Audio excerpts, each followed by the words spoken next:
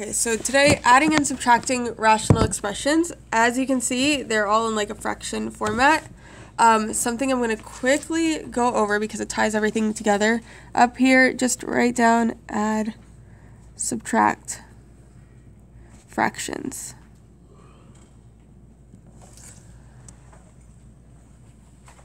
Okay, when you learned to add or subtract fractions, you were given numbers like this. 1 fourth plus 2 fourths equals, and then when you add fractions, you look for having the same denominator, and if you have the same denominator, you can just add the numerator. So 1 plus 2 would be 3, so the answer to this would be 3 fourths. If for whatever reason you didn't have a common denominator, so let's say you're given 1 third plus 2 sixths, then you would have to make sure that you have a common denominator before adding the numerators. The way you would get a common denominator is you'd multiply this by something to get it to look like this. So we'd multiply this by 2 to get 6, and whatever you do to the bottom number, you have to do to the top. So then you would rewrite it as 2 6 plus 2 6 and get 4 6. And then, of course, simplify if you could. And that's essentially what we're going to be doing. Yeah, two thirds, sorry. Mm, okay, two thirds. And that's essentially what we're going to be doing, just with more complicated numbers. Okay, so for number one, this expression here, we can see that the two fractions already have like denominators, so we don't really have to do much with that, which is nice. So we're just going to add this to this, and I'm going to write it all out.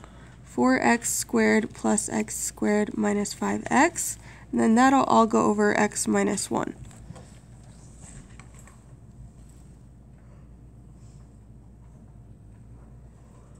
Now we're going to combine like terms, which we can combine the 4x squared and the x squared to get 5x squared minus 5x over x minus 1.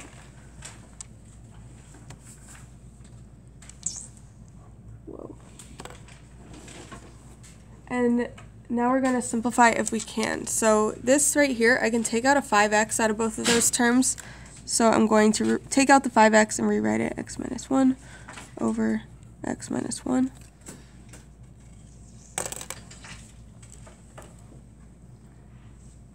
And now that we're dealing with just multiplication, we can cancel stuff.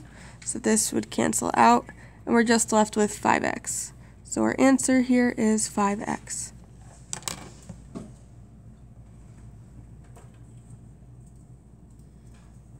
So you'll see me kind of bouncing in between colors. If you have two colors to use, that would probably be best as like you're crossing stuff out so you can see what's going on. Okay. Number two. Now we have three terms. Luckily, the denominators are all x plus 2, so we don't have to worry about anything there.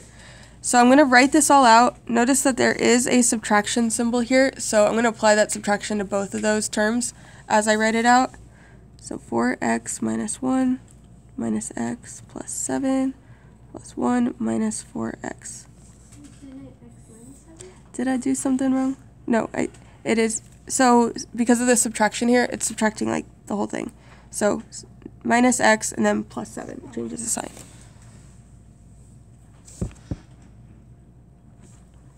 And now we can cancel stuff, and find like terms. So 4x minus 4x, that's just 0, that cancels. Negative 1 and positive 1, nothing. And then we're left with negative x plus 7 over x plus 2.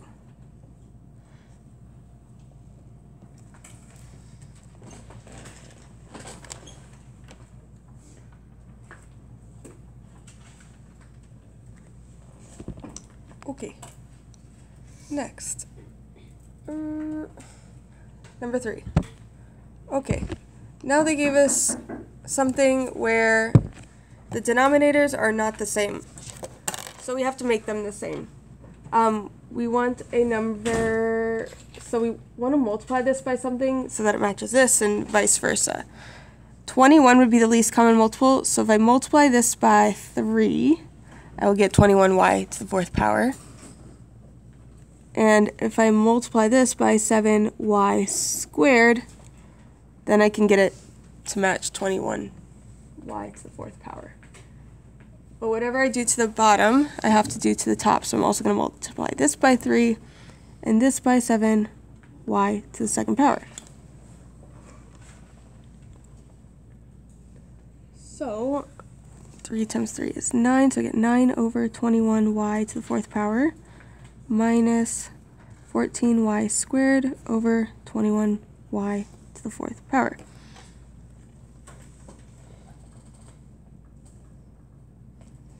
And then the last step is just to put it all together. 9 minus 14y squared over 21y to the fourth power. And that's as much as I can do. Um, I can't cancel out y's because of the subtraction. If it was all multiplication, then I could cancel factors out, but because of the subtraction, that's it. And no, that doesn't look much simpler than the beginning. I know it's not as satisfying, but it is what it is. Why couldn't you simplify the? Um, because of the subtraction. If it was all multiplication, then you could. Okay. Number four. Now, as you can see, different denominators again, x plus 4 and x minus 2. In this case, what we're going to do is multiply this side by x minus 2 and this side by x plus 4. And whatever you do to the bottom, you have to do to the top.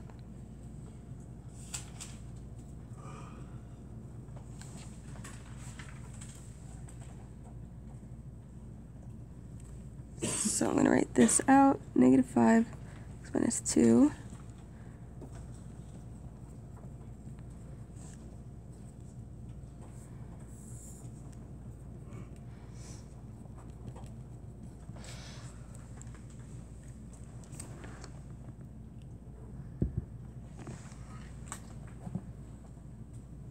Then I'm going to distribute the 5 here and then the 4x here.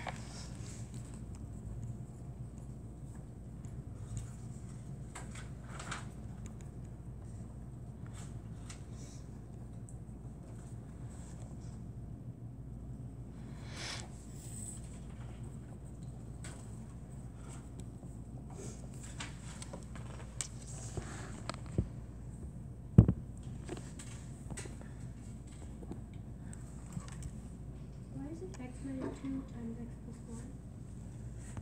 4? It's just what we did here. We had to multiply this by x minus 2 to get it to match over here, and we multiplied this by x plus 4 to get it to match. And now I need to put this in a better format, combine like terms. I'm going to put the negative 4x squared out front, combine this and this, over x minus 2, x plus 4. And that's as simple as I can make it.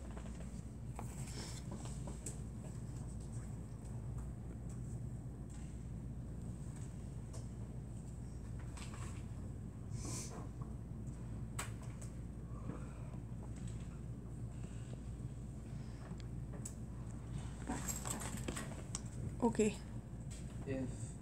If the four x squared was multiplied by the twenty-one x, could you put the x's together to make it cubed? Is that the thing that can happen? Um, like 4x squared times 21x. Yeah. Yeah, because like 4 times x times x times 21 times x. It'd just be a big number cubed, Yeah, right? you could do, Okay. yeah, 4 times, like that.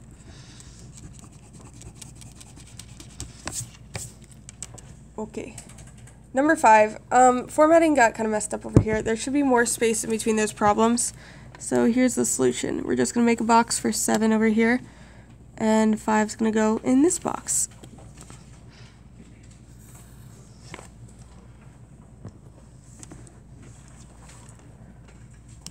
Okay, um, so So same idea. These get a little bit more complicated, but we're just bringing out factors, um, seeing what we can simplify.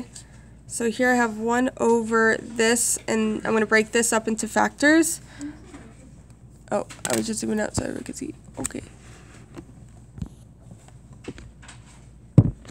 Okay. Um, so breaking this up into factors, 1 over x plus 4 times x plus 1. So two numbers that multiply to 4 and add to 5. There's that. Plus 5x over 3x plus 1. I just factored out the 3.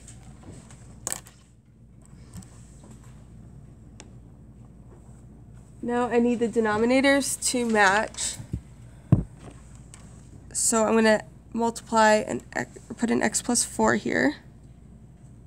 Whatever I do to the bottom, do to the top. And then over on this side, I can multiply by 3. And whatever you do to the bottom, do to the top.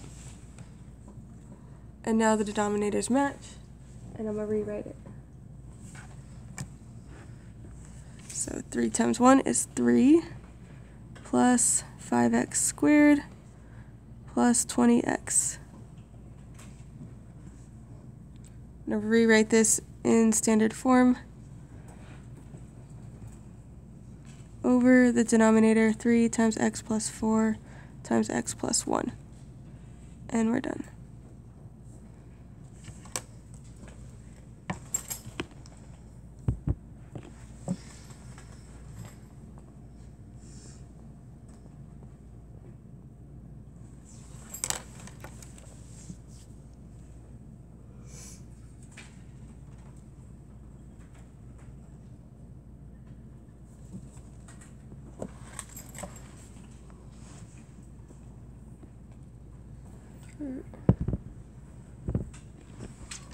Okay, number six, same thing with formatting. I'm just gonna make a box for eight and then solve six over here.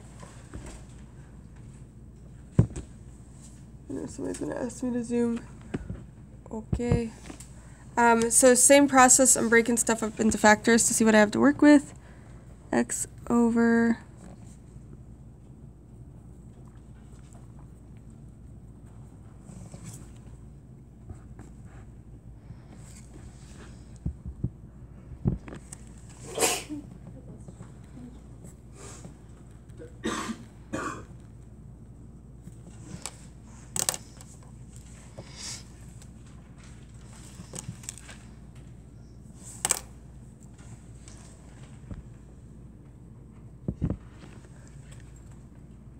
And then from here, I need an x plus 3 on this side.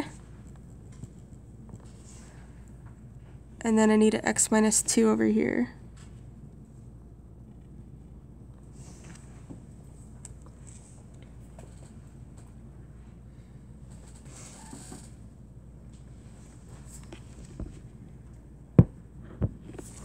Then I'm going to distribute as I write it all out x squared minus 2x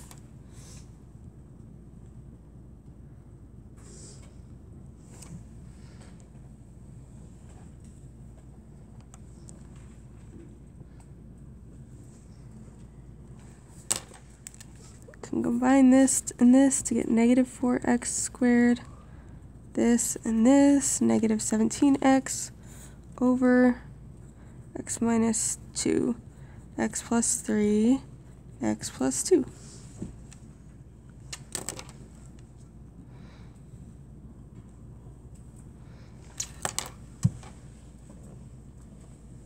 you don't have to expand the bottom part? Mm, no, yeah, we can just leave it.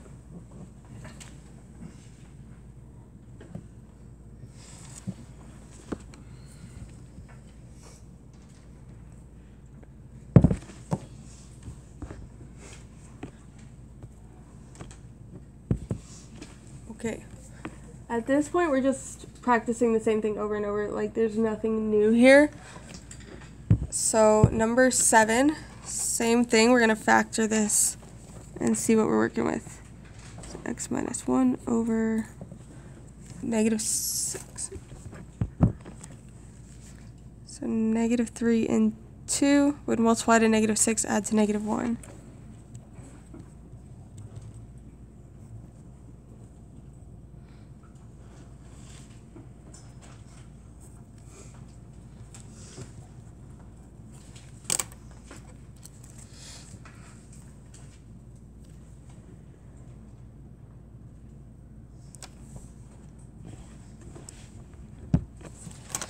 Then over here, I need an x minus 3, so I'm going to multiply this by x minus 3.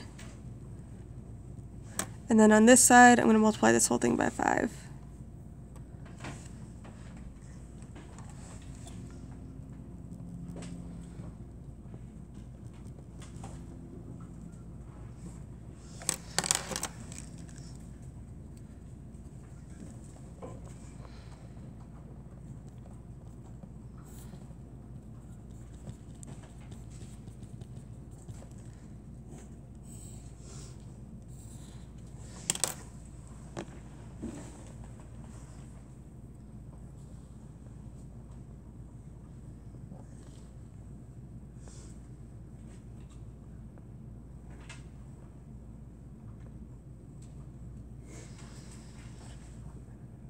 And 8, same deal. Factors be negative 3 and 2, y over y minus 3, y plus 2, minus.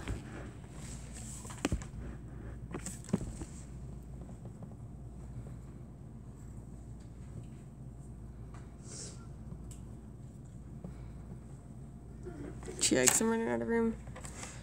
Should we call it? Let's see. Add a y plus 3 here. y plus 3. Ooh, this is again too crowded. Okay, scratch number 8. No need for that kind of frustration.